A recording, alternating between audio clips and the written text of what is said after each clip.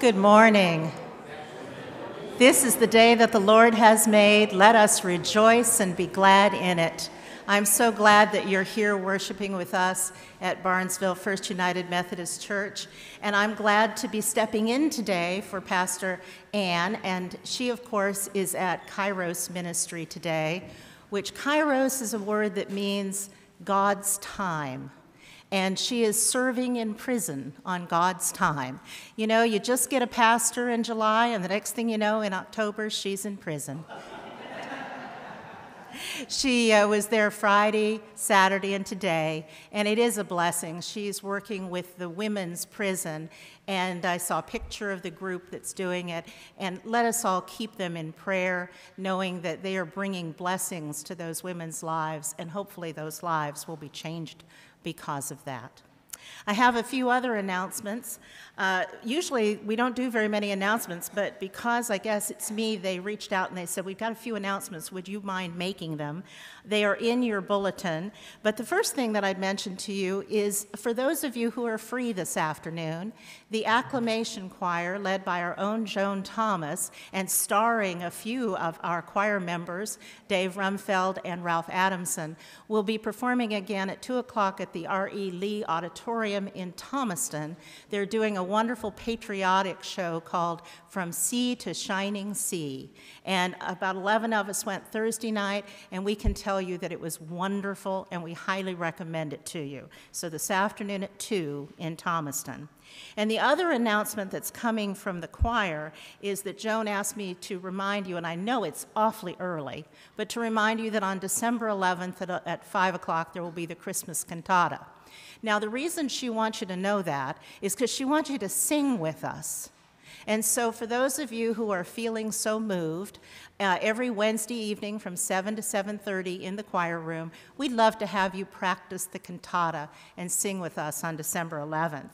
And then we'd like you to invite all your friends because Bonnie Minton is putting together a wonderful after concert uh, fellowship time with food and fun. So please mark your calendars for that. And uh, just wanted to also say that selfishly, I wanted to say that as the director of the Lay Servant Ministries program, we had a wonderful meeting yesterday in Griffin, and we listened to four candidates that uh, all were wonderful and all were approved to become lay speakers. And two of those names you know. Now, the actual approval will happen in two weeks with the conference committee, but there's one person sitting in our midst and another person who's near and dear to your hearts who will both become lay speakers. I'll name the person first that's not here, and that's the wonderful Shelley Melton.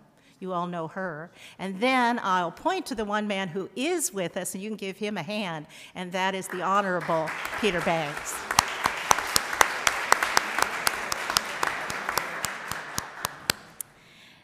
Thank you very much for that. So now let us turn our hearts and our minds to a time of worship.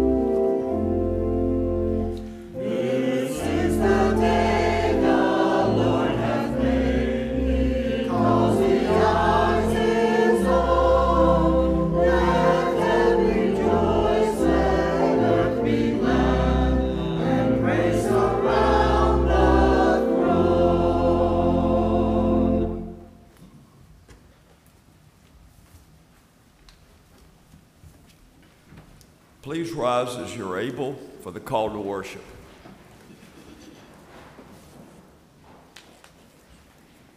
We worship because the Lord stood by us on difficult days.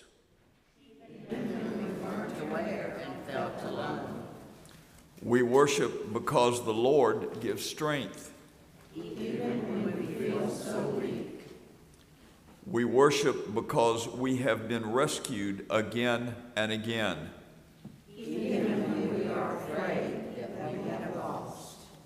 Come and worship the Lord who stands with us in our darkest days and promises to be with us to the end. We will worship in hope, seeking eyes to see and hearts to believe in God with us. Now let us profess our faith using the Apostles' Creed found on page 881 in our hymnal. Christians, what do we believe?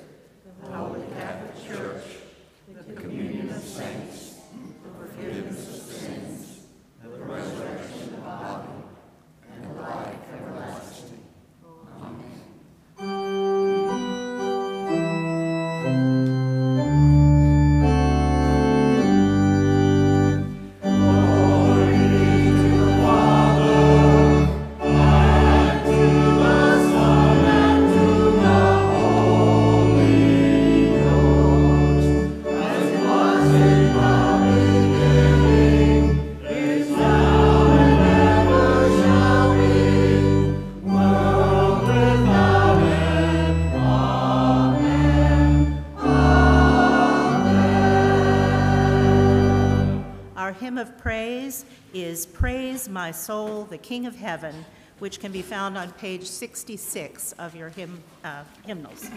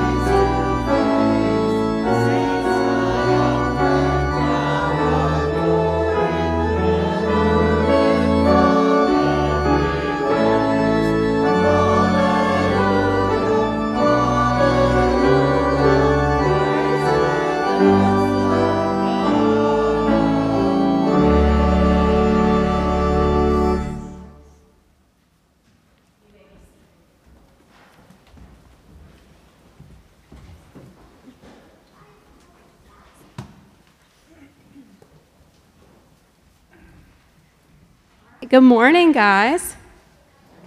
How are you today? Good. I'm glad you're here. I have, oh, good. I'm glad you're here. Have a seat.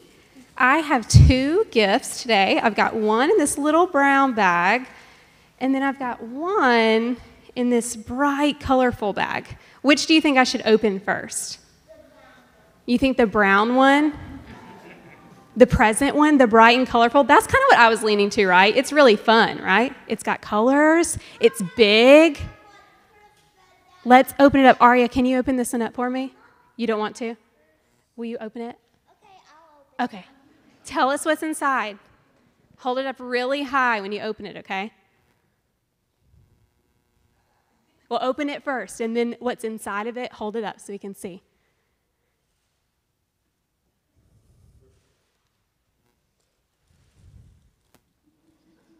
What's in there?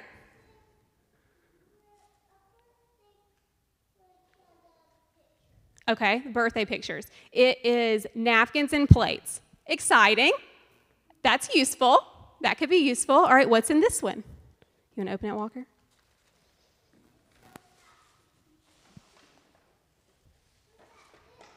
Yeah, you got napkins.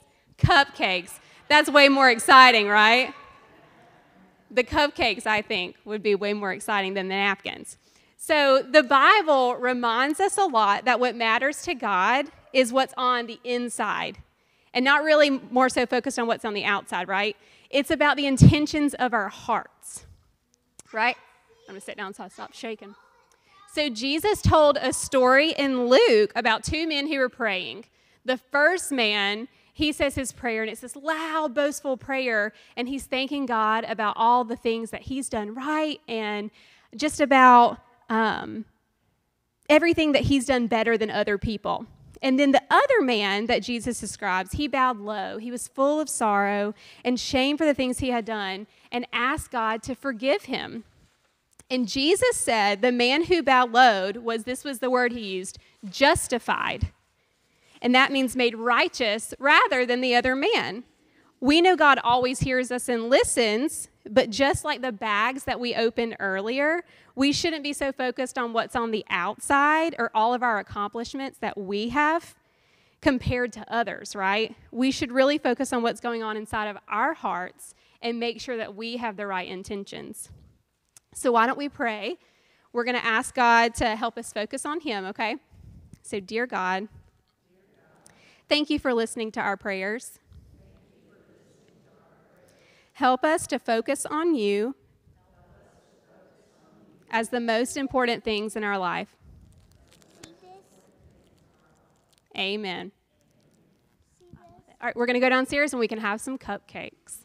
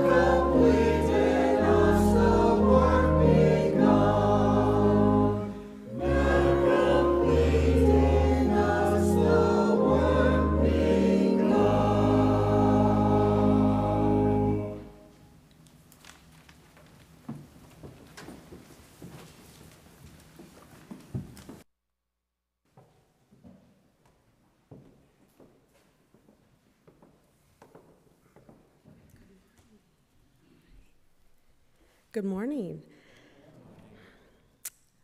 The morning prayer. At the starting line of this day, we call your name, God of grace. As we run the race you have set before us, help us keep our eyes on your goals, not our own.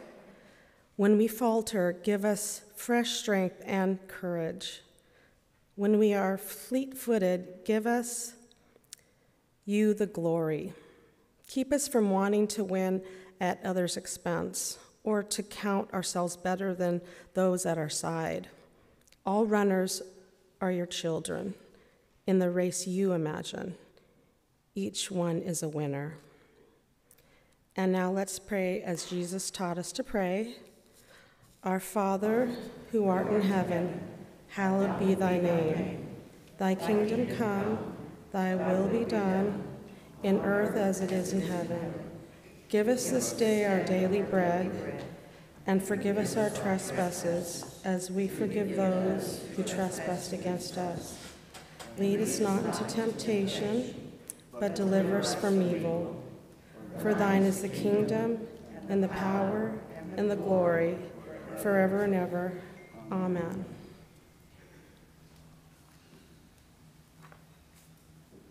Time for one of my favorite hymns. If you'll turn in your hymnal to page 395, let us sing Take Time to Be Holy.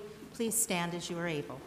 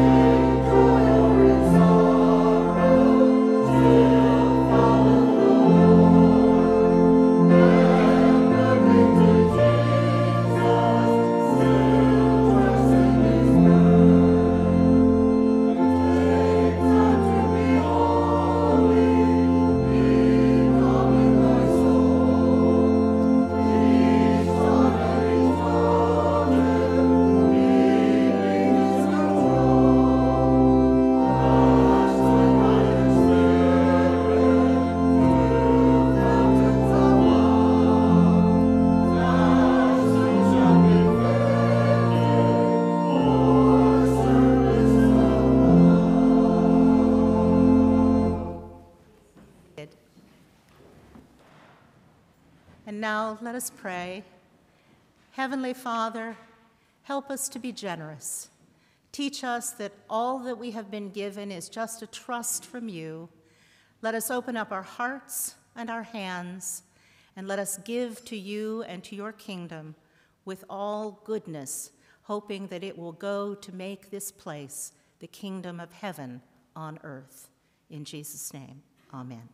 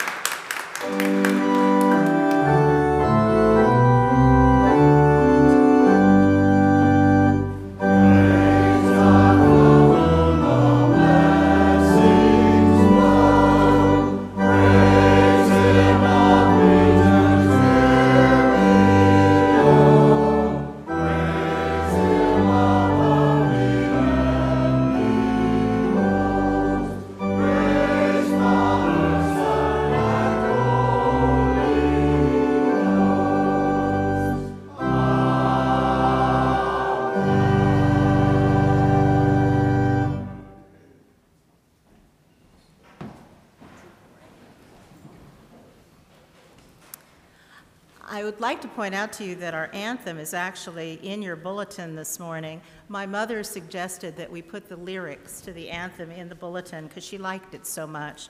So I thought I'd point that out to you. It was written recently by Erik Dewar, and Erik Dewar actually serves as the music of ministry at a church, and he's written a lot of music which he makes freely available to anyone who wants to have his music in their churches, which I thought was lovely. As we uh, move into the pastoral prayer, let me call your attention to the list of folks on the prayer list. Uh, there are a couple people that I'll call to your attention. I talked to Charles Glass this morning, and he tells me that his mother, Sarah, is at Brightmoor and will probably be there for the next few weeks. She's recovering from surgery for a broken arm, so please keep Sarah Glass in your prayers. And there are many others that I would call to your attention that are also in the prayer list. I also want to keep Bob Wallace in our prayers. Bob has hurt his back again and will be facing surgery, I think, again in the near future. You know many names of those that you are in prayer for, so let us just take about oh, a few moments and let's close our eyes and silently let us pray for those who are on our hearts and on our minds.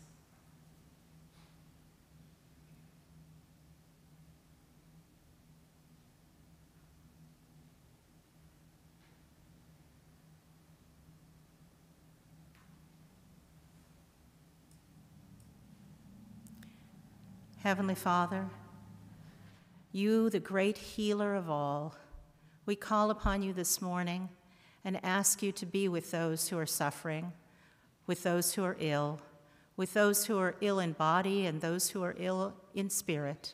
Please be with those who are struggling with family issues, with employment issues, with all the ways that you know that we struggle.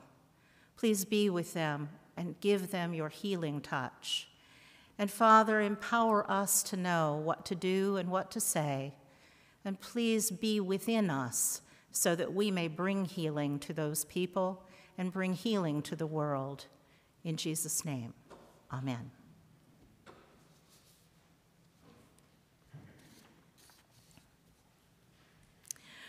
When I was 16 years old, I spent the summer in Scotland with my Aunt Jean and my Uncle Alf. They were my grandmother's sister and uh, brother in law. Now, right before I arrived in Scotland, my Aunt Jean inherited a liquor store. Now, that was not just surprising, that was downright shocking because my Aunt Jean was a teetotaler. She didn't touch a drop of alcohol, and she was full of contempt for anyone who did drink. And yet, every morning, she'd get up that summer, and she and her friend Rose would sit in the back room of the liquor store, drinking their tea and making comments about anyone who happened to come into the liquor store to buy liquor. Aunt Jean and Rose were very sure that they were morally superior. They were righteous. They were holy. Well, by comparison, anyway. They were certainly glad they weren't like those poor sinners that drank liquor, even if they were benefiting by the sale of it. Now, my husband, Mark, he used to be a smoker. 30 years ago, when we were living in Philadelphia, he decided to give up smoking. Now, he didn't even tell me he was doing it. He just gave up smoking cold turkey. So for about a week, he looked like he had the flu. He was all clammy and white and ghastly looking. And then after that period of time, he was no longer a smoker. Now, Mark didn't go from being a smoker to a non smoker. Mark went from being a smoker to an anti smoker. And so now all of a sudden, when we would go into restaurants, and you know, back in those days, 30 years ago, they would have smoking sections and non smoking sections. Oh no, Mark wasn't just going to sit in the non smoking section, he was going to sit as far away from those nasty smokers as he could possibly sit.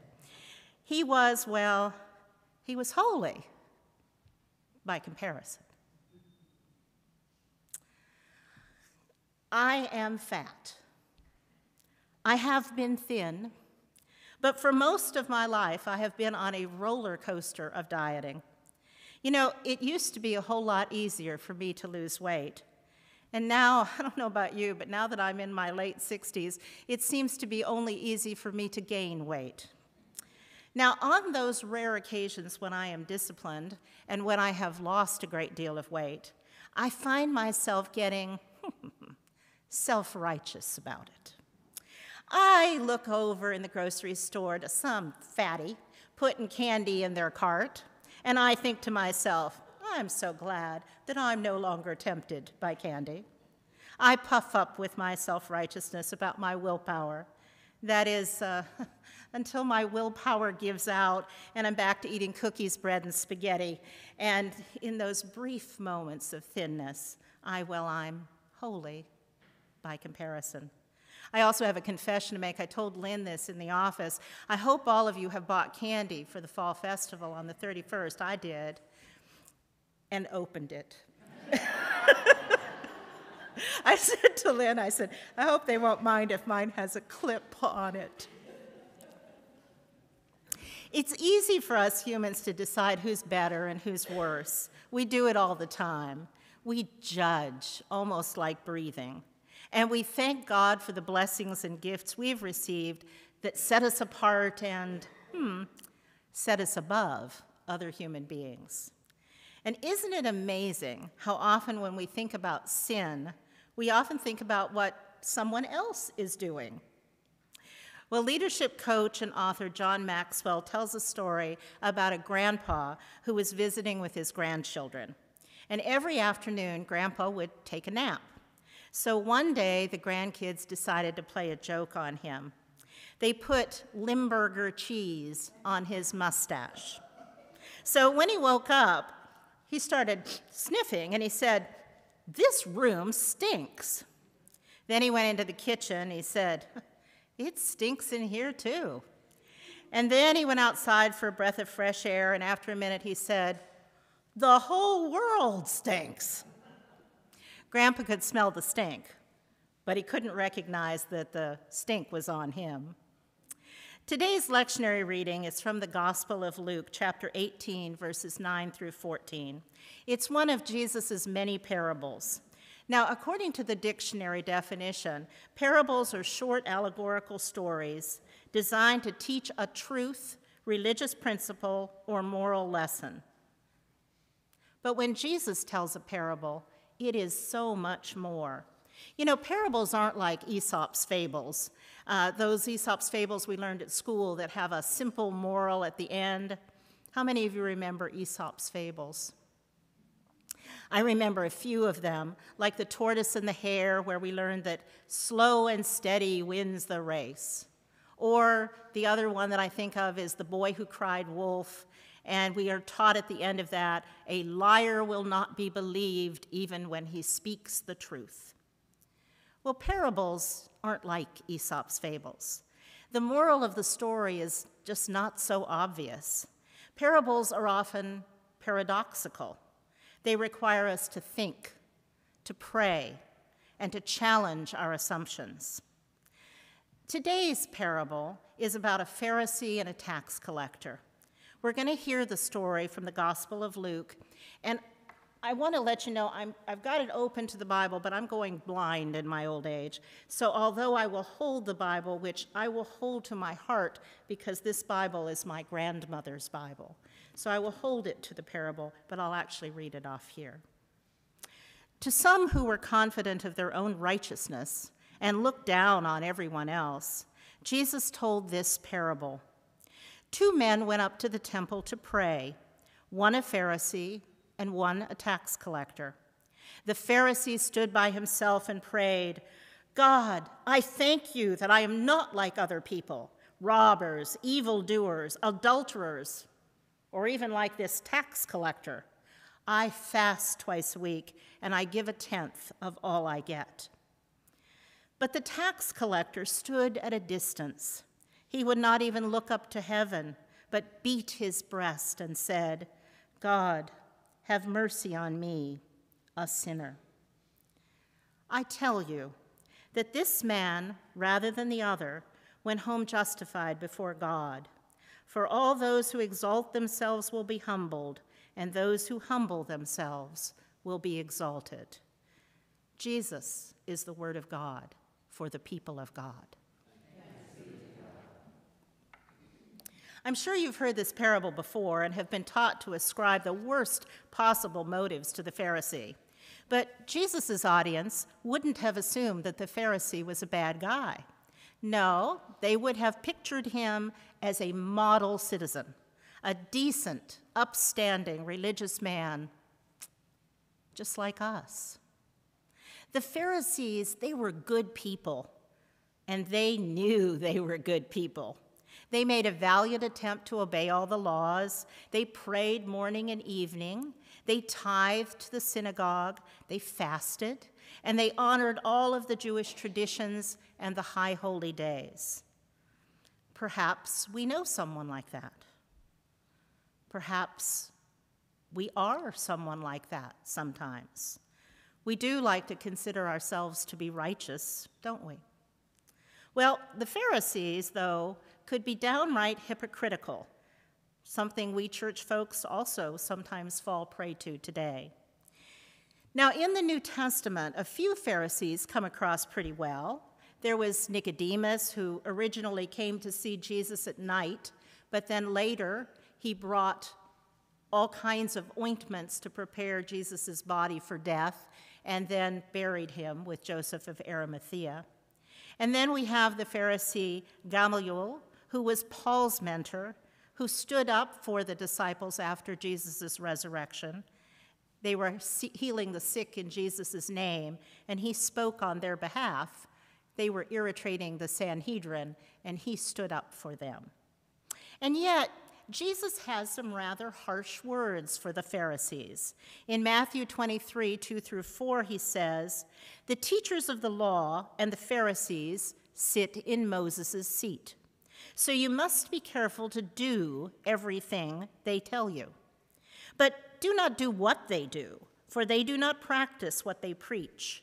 They tie up heavy, cumbersome loads, and they put them on other people's shoulders, but they themselves are not willing to lift a finger to move them.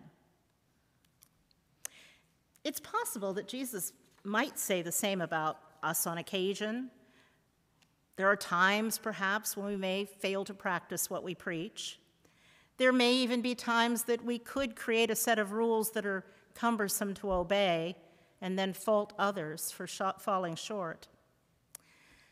I wonder do we ever exclude people from the church or from our circle of friends because we decide that they are breaking the rules, rules that we deem to be important? While at the same time we're busily discarding rules that we deem to be unimportant. And what about this tax collector? Well, he was the stereotypical sinner. He would be hated by his countrymen, his fellow Jews. He had sold out. Tax collectors used to bid for the right to collect taxes for Rome, and then they would add on to that so that when they were collecting the taxes, they would take as much as they could possibly get to line their own pockets. Now, the disciple Matthew was a tax collector, as was our short little friend Zacchaeus, who climbed the tree to see Jesus, and Jesus went home and ate with him.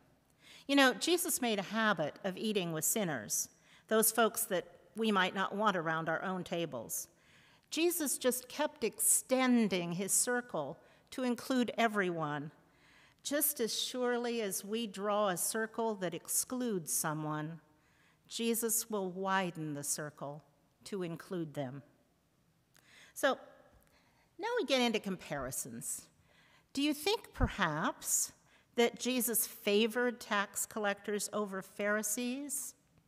Hmm, I wonder. You know, many times when you hear this story told, this parable, the preacher will create an either or scenario out of the parable. You're either the Pharisee who is self righteous and congratulatory and downright selfish, or you are the tax collector who recognizes the sinfulness of your ways and pleads with God for mercy. But perhaps, just perhaps, these two characters in the parable, the Pharisee and the tax collector, both represent us, depending on our state of mind, our mood, and what's going on in any given moment in our lives. And when we face our inner Pharisee and our inner tax collector in the mirror, we know, we realize, we feel that God's grace is freely offered to all. We are called to recognize His grace and to gratefully accept it. According to the theologian Diana Butler Bass, she said, Pharisee and tax collector alike, side by side, gifted with mercy. We might not like it, but God is a wildly gifting God, throwing manna from heaven on everyone, whether they have been faithful or not. We stand alongside each other in humble gratitude, no matter the circumstance. So, what is this parable about? Well, it may not be about which character is superior. Certainly, the Pharisee feels superior to the tax collector, and as we read the parable, we might think that the tax collector has a leg up in the prayer department on this particular occasion. But maybe, maybe the parable points a finger at you and at me. Perhaps it's a lesson about humility, about prayer, and maybe even a lesson about connection. We've all fallen short and missed the mark. We might read this parable as an invitation to set aside our pride, our judgment, and to walk alongside one another, helping one another, cheering one another on in this path of life.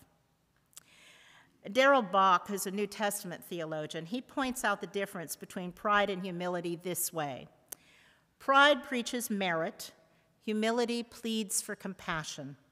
Pride negotiates as an equal, humility approaches in need. Pride separates us by putting down others. Humility identifies with others, recognizing we all have the same need. Pride destroys through its alienating self service. Humility opens doors with its power to sympathize with the struggle we share. Pride turns up its nose. Humility offers an open and lifted up hand. When we pray, we are called to approach God with humility. None of us has a monopoly on righteousness. Jesus commands us to love one another, not to judge one another, and certainly not to separate from one another. As the body of Christ, we are one. We are connected. We are each different.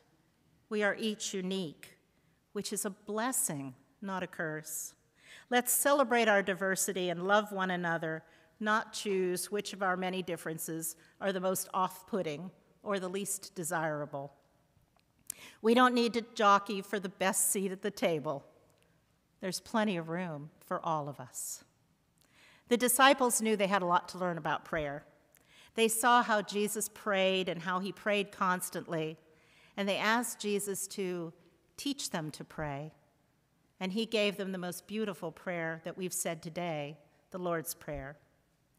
Jesus taught them about prayer and about community.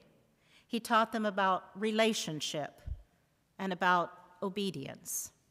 He taught them how to bring about the kingdom of heaven on earth and how to become living prayers. He taught them how to grow in holiness and how to do it without making comparisons. Nadia Bolz-Weber, I don't know if you've heard of her, she's a bit controversial. She's a tattooed and outspoken Lutheran pastor, and she serves a church called the House of All Sinners and Saints.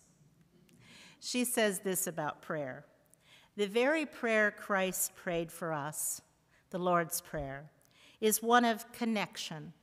None of us is alone. We are connected by prayer to each other and to God. It hurts sometimes. But the more you see suffering and injustice about you, the more you pray, and the more you pray, the more connected you are to that suffering. And the more connected that you become to that suffering, the more you are connected to the crucified and risen Christ. For these silken threads of prayer, which connect us to God and to one another, and even to our enemies, are how God is stitching our broken humanity back together. So, church, pray without ceasing and do not lose heart. Isn't that beautiful? I think it's good news for us. We are not alone. Prayer can connect us, and prayer opens our eyes to the suffering and injustice.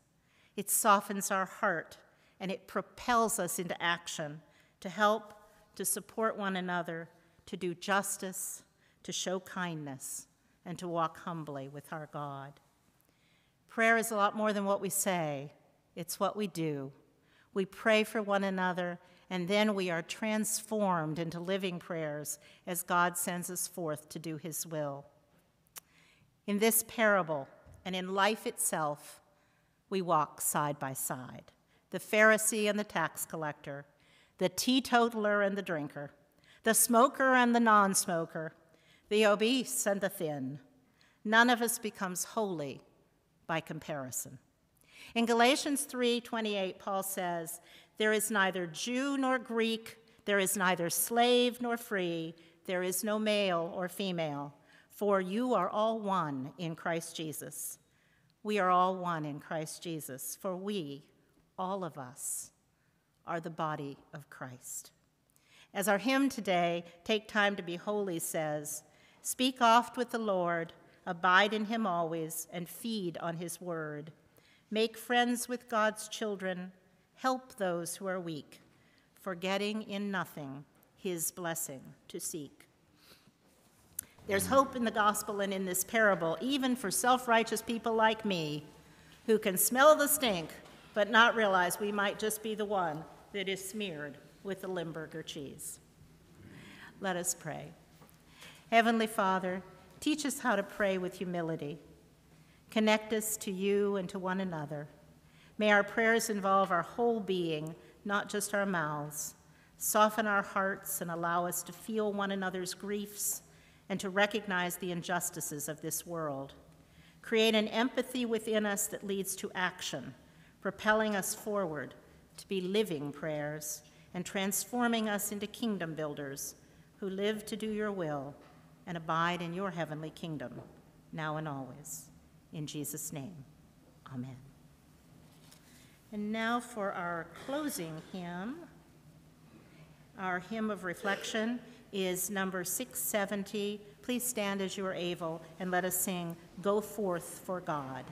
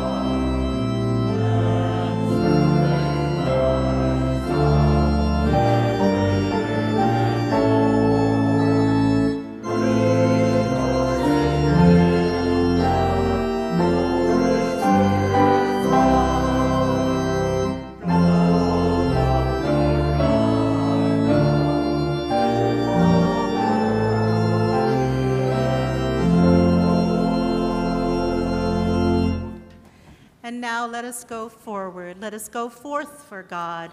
Let us go out into the world and take Christ out into the world with us so that we may be Christ for the world.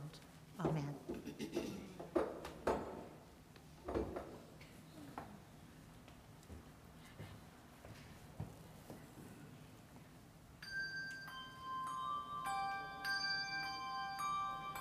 Go now and be.